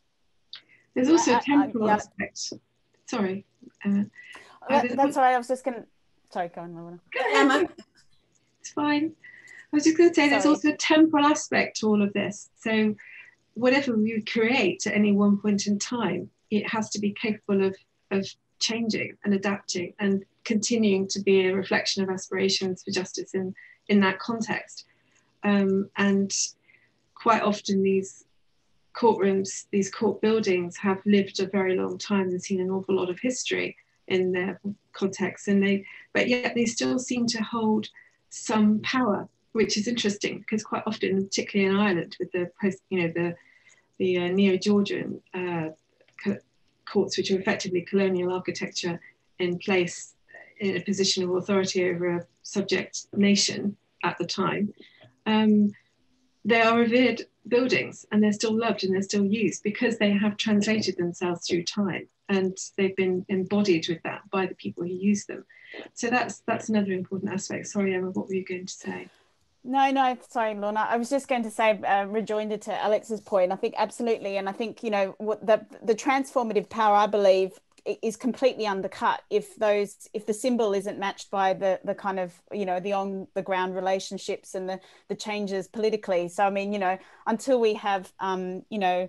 Uh, more Aboriginal people represented, you know, as, as, uh, within our ju- judiciary, and until we have, you know, lower rates of, of or more equal equal rates of incarceration um, between, um, you know, the, the, different kind of groups, more proportional to actually, you know, what what the population is, then, um, you know, and lower deaths in custody and things like that. So until that kind of real justice um, happens, then the in a way the the the, the transformative potential um, is undercut really. So I think you know those things need to be in concert really.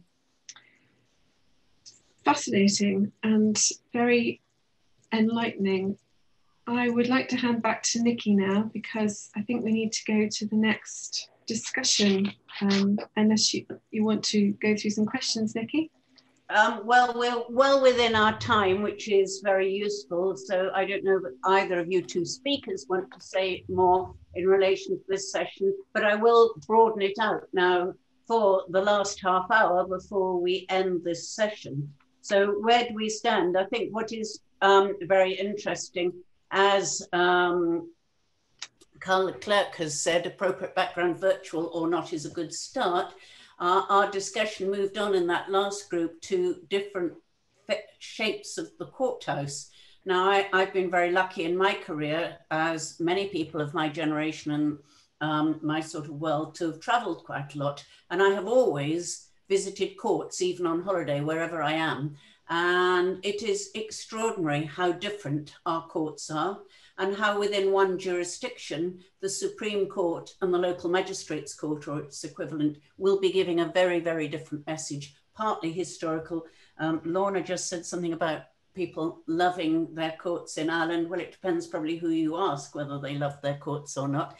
Um, and there are many, many issues in relation to court architecture and where you put the judge and whether he has a light on him, as we heard earlier on, and moving the discussion away from what court should look like to the advantages and disadvantages of digital justice. I think this discussion is, of course, fantastically interesting at a million levels, not least because it's a digital discussion and shows the advantages and disadvantages of invisibility or um, in relation to this encounter that we're having, which is very different from the encounter that we would have if we were all in the same room but we never would be all in the same room. So aren't we lucky? I think my agenda in welcoming Lorna's proposal that we had this webinar today was very much to get us to think about, hey, there are enormous things happening out there. digital justice is moving really, really fast. And have we stopped and thought enough about the implications? And therefore, we've encouraged everybody in this last session to think a little bit about what it is that um, future research should be looking at. I'm really grateful that everybody who's taken part today has agreed that we record this session. It will therefore sit on the um, Centre for Criminal Justice's website, and I hope we'll get lots and lots of hits. It will also be, I think, on YouTube. We'll announce where it's available. But in my previous experience of the webinars that we've been putting on in the last year, they have attracted an enormous amount of attention afterwards, as well as on the actual day of the discussion. So in this last section, I'm going to invite everybody who's spoken here today to have two or three minutes, so uh, not just a word, but a bit more than a word on where they really want future research to focus. I think there have been some quite subtle messages today from the different directions that we come at the problem from. But let me straight away pass it back to all of you to have a word. Now, we haven't choreographed this very um, deliberately, we haven't choreographed it very strongly because a discussion benefits from being a discussion, which is where I think the discussions earlier about inquisitorial adversarial is really interesting. That's one of my main messages as a black letter lawyer who's interested in who speaks first and who asks what questions. I think whether this new digital world, if we have to live in it, I'm very, very nervous of it, but if we have to live with it, whether it should embolden us to do some quite dramatically different other things as well. But I don't want to talk too much. I've just been um, speaking for a minute to give our panelists time to think about what they really want to say. And I don't know whether you want to speak in the reverse order that we did before or the same order, or for me to choose a random alphabetical order. I'd rather that democratically, haha, you choose. Who would like to speak first? Lorna wants to speak first, then you won't get another chance though. I so know, I know. Lorna, I'll just set it because um, because I'm in a field with people who've got a lot more research background than I have. And I just, so in that sense, I just want to use this as an opportunity for a call to arms, really, for research. Um, I can't see anything improving without research. So I'd like to ask you all what your recommendations are for future research or analysis or inquiry and how you think the pandemic has created an opportunity for that research, which we wouldn't have had, I don't think. So anybody, any takers? Emma, I know you're about to start some research, aren't you? Um, which with Linda Mulcahy. So perhaps you'd like to tell us I, I sure, will but... select, we're going to get Emma, Alex, Carolyn, and then you know you're on next. Thank you.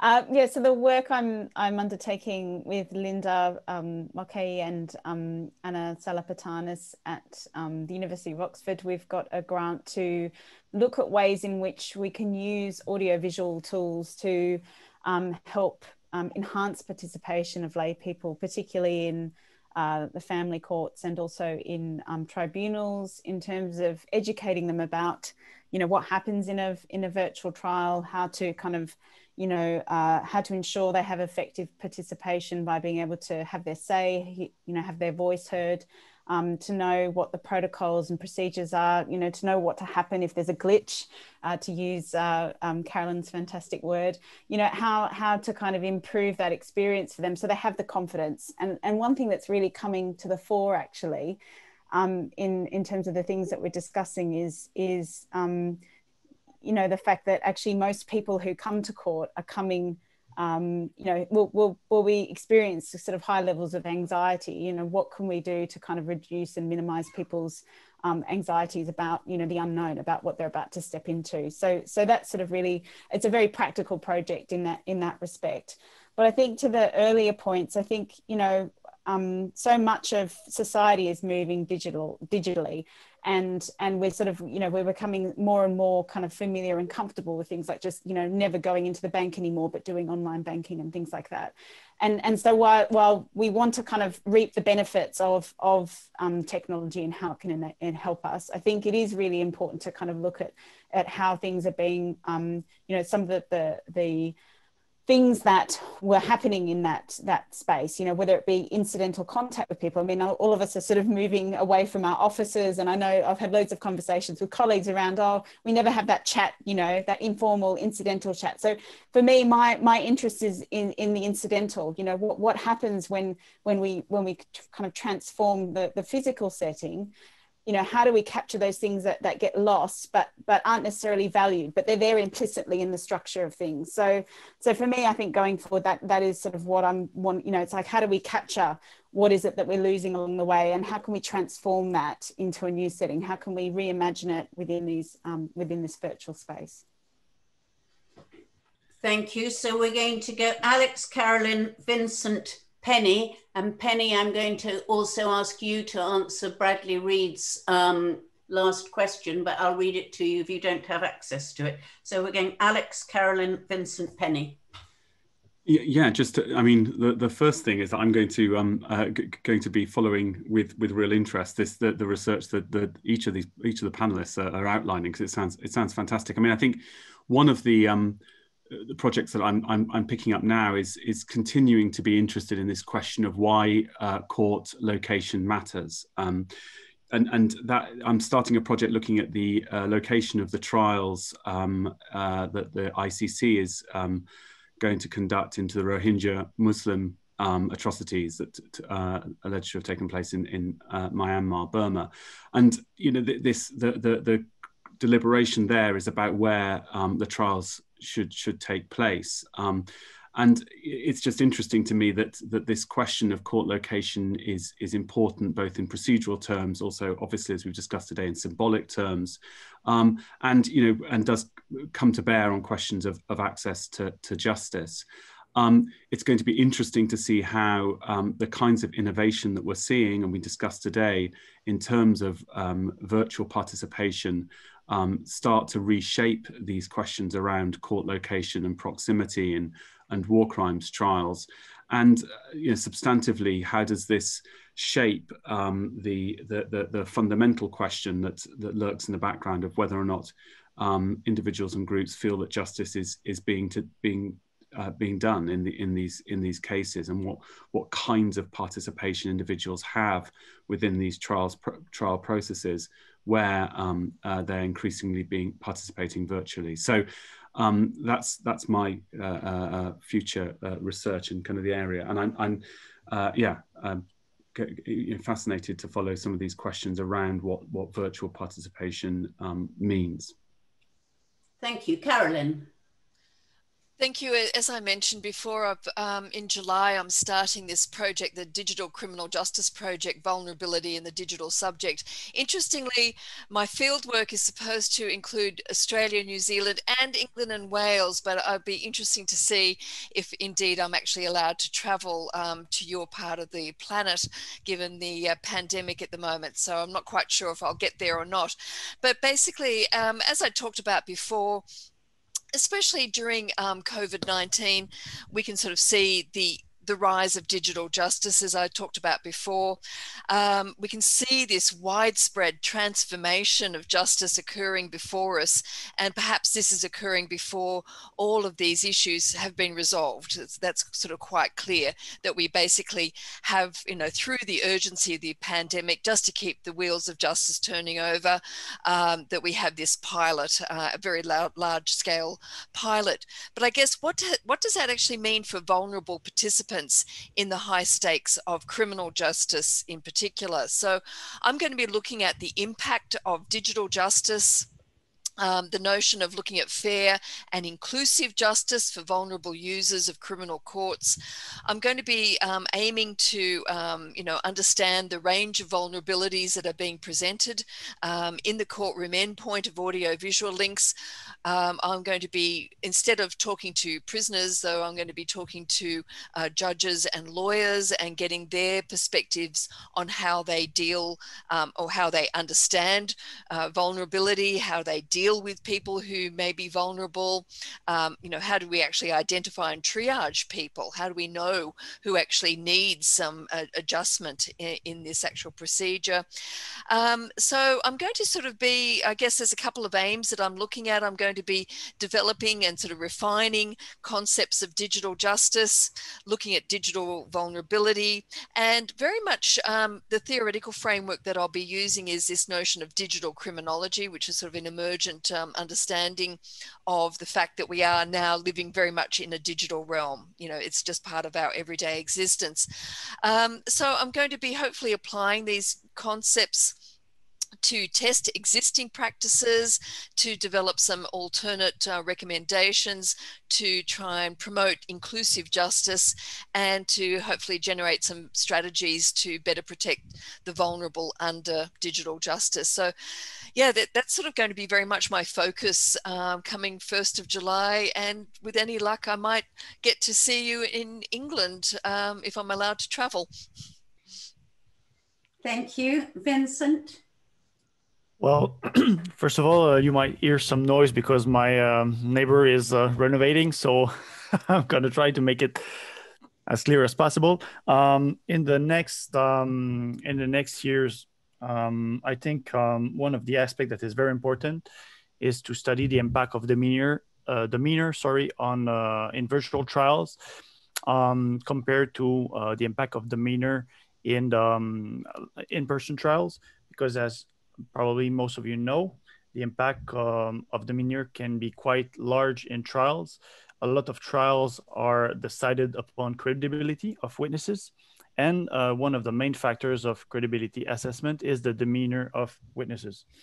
Uh, on that issues, I also think there should be uh, more research on the impact of facial stereotypes in uh, virtual trials.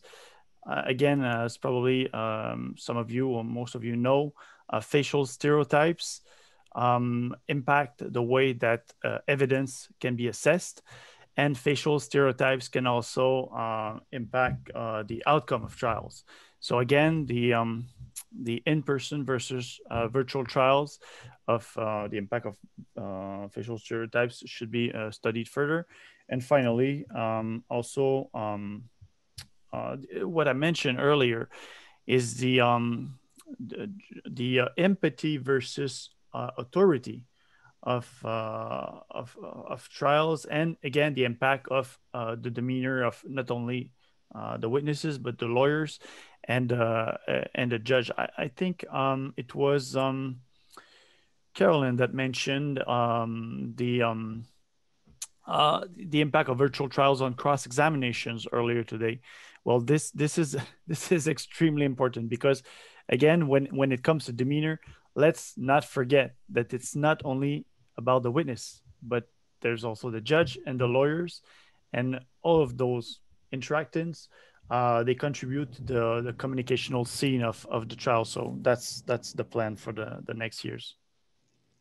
Thank you. And I already um, pushed towards Penny the question from Bradley Reed, which says, thinking about Vincent's point about the impact of nonverbal cues, could appearance by video link from a prison be considered to be in danger of biasing a jury? Is the panel surprised that there appears to be no Article 2 challenges so far?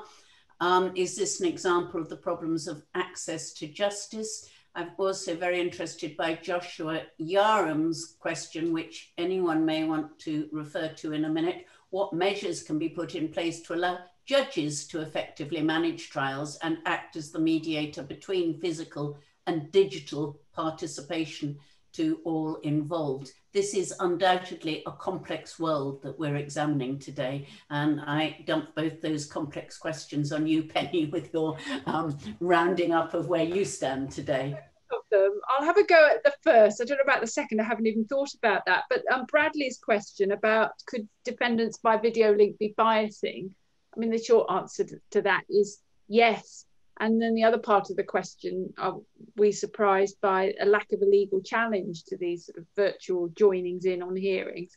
And for my part, I think no, because it comes back to research. If you were challenging it, on what basis, really? I mean, who are you going to call an expert witness who's going to say, well, we just don't know really? It could be biasing, it could be biasing in favor of the accused, it could be biasing the other way.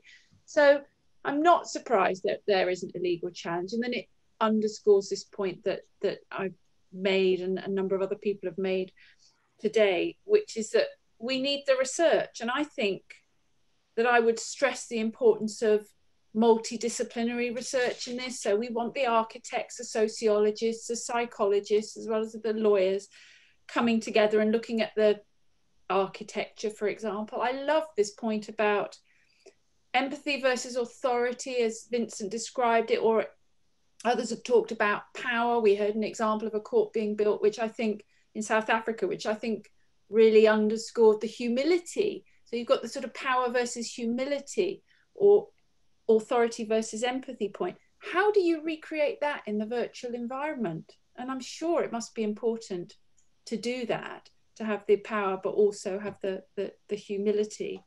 So um, really interesting stuff coming out here. And for, for, for my part, future of research. Other people have mentioned what they're doing. We've just been awarded at ICPR with um, the lead being Professor Jessica Jacobson, who I work with a lot. Uh, the lead being on a project on the coroner's court. We'll be looking at the participation of bereaved people in inquest. So that's where I'm headed from about May onwards in terms of um, major research projects. But thank you very much for letting me join, and I'm going to stick myself on mute now and let somebody else have a go at that other question. Um, well, I'm going to pass the um, floor now to Lorna. I don't know whether you want to answer that question or, or whether you simply wish to um, sum up the conference from your perspective at this point, and I might get back to that question in a minute. But over to you now, Lorna. Um, I just wanted to say thank you to everybody for coming along and helping me unravel some of these many, many threads that I've been looking at for the last three or four years. Um, I've been looking at the courts for a very long time because I started in law and ended up in architecture, and uh, and the, the, experience stayed with me. So, as I see um, the courts change, and in particular this this kind of paradigm shift that we're all living through at the moment, where uh, everything seems to be becoming virtual at an enormously rapid rate, uh, pace. I just, I just became increasingly concerned that that there weren't enough people looking at it in a cohesive manner. So we're all kind of looking at bits of it, but we're not all talking to each other that much, although obviously we all do read each other's research. Um, what comes out in conversation is often revealing. Um, and it's in, in the spaces between what we're all considering that I think that there's power you know, to, to make a difference and to expand our knowledge. Um, I used an article I wrote in Counsel last May to call for more research and to use this small window of opportunity created by the pandemic to produce a sound body of evidence on which to base informed decisions for the future of digital justice and courts reform. So that window is not now as small as it was then, and the backlog in the criminal courts is increasing, and the crisis in the justice system more critical, um, despite the inception and implementation of the strategy, uh, which you put into the Nightingale Court's report. The potential remains for the backlog to simply outstrip the throughput of existing courts, and uh, the potential for misery and justice denied to so many victims and defendants waiting for their day in court is, is vast. Um, the next generation of courts is required. Um, speaking as a, an architect, I can tell you it will take a couple of years before we have them, um, but we need them sooner than we expected to. And the, the pandemic remains out of control. There's no clear end to it in sight. Um, and the justice system can no longer rely on a swift return to normality to resolve the backlog. So we need to see um, a, a, you know, a functioning justice system perhaps more than any time since World War II because of the threat of the pandemic to public confidence in the justice system. So, so Ernest Ryder called um, earlier this week, or was it last week, for research and for a collaborative review of justice um, to provide a reasoned response to the pressures of the pandemic on the system. And perhaps a new model will result, but it's already clear that the design of the future spaces of justice will need to incorporate both physical and virtual spaces. Almost everyone seems to agree that there's no going back to the old model. Um, virtual justice in some form, having once been seen, cannot now be unseen. So it's a question of how we do that. And for my part, I'd like to see more collaboration between the likes of us to resolve that question. We can't all do this by ourselves, but we could all collectively make a difference, I think. And there's an opportunity to do so, so that we we end up with a system that, that works for everybody and not just the few. And that's all I have to say on the subject. Thank you. Um, Joshua's question about um, what measures can be put in place to allow judges to effectively manage trials is rather nicely, I think, answered by, um, let me go back into the chat, and we have there a very interesting question, um, uh, response in the chat from, um, hang on, they're jumping around in my um, thing. Yes, Pierre Gagnon. Um, in Quebec, we surveyed litigants, etc., etc. The most valued aspect of the process was respect. We've had a really useful discussion today, um, but what's missing, of course, is the voice of the defendants and the witnesses. And I think it is really important to try and hear their voices. Carolyn, I don't know whether you'll get to England and Wales in the next year. Who knows? But um, we have proved today that we can talk to each other without having to visit each other's jurisdictions. And I am certain that we will continue this conversation. This interdisciplinary conversation is really, really important. So, of course, is listening to the views and um, opinions of other users of the system. And it would be nice to know how we could bring that debate uh, or make that discussion more effective of bringing in court users more widely. I am going to, I think, wind, start winding up our, decision, our discussion in a moment. If anyone here, any of the speakers um, want to have a last word, you're very welcome to interrupt me at this moment. Um, wave your hand or, or whatever uh, I, am looking. There has been enormous material. Um, the reading list, we've got an extraordinary um, presence here. Thank you so much. Um, the reading lists that we've all got in these interdisciplinary worlds. Um, I like to keep an eye on what's going on in this world, but you've given me a, a lot more to read today, which is fantastic. Um, this whole webinar will be available on our own YouTube channel, also on the CCCJ LawCam UC website.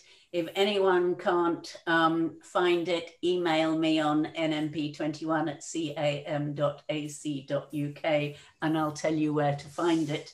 I'm sure it's a debate that will go on. I hope that um, the panelists will be interested to be invited back the world's a very fast moving world, isn't it? When we look back at 12 months ago before the pandemic, it feels like a very, very different world, not only in our personal lives, our research lives, but in what a court looks like, what a good court is, and how a court functions. So I'm sure there's a lot of space for us to meet again. Thank you very, very, very much to everyone, especially Carolyn, for whom it is well after midnight, Vincent, who it is less early in the morning than it was when we started. But for those of you within this jurisdiction too, thank you enormously. And my main thanks go to Lorna, whose baby this seminar was. Thank you very much indeed, Lorna, for provoking us to do this debate. Thank you, everyone. Goodbye. Bye-bye. Thank, Thank you. you very much. Thanks a lot. Bye. Bye bye.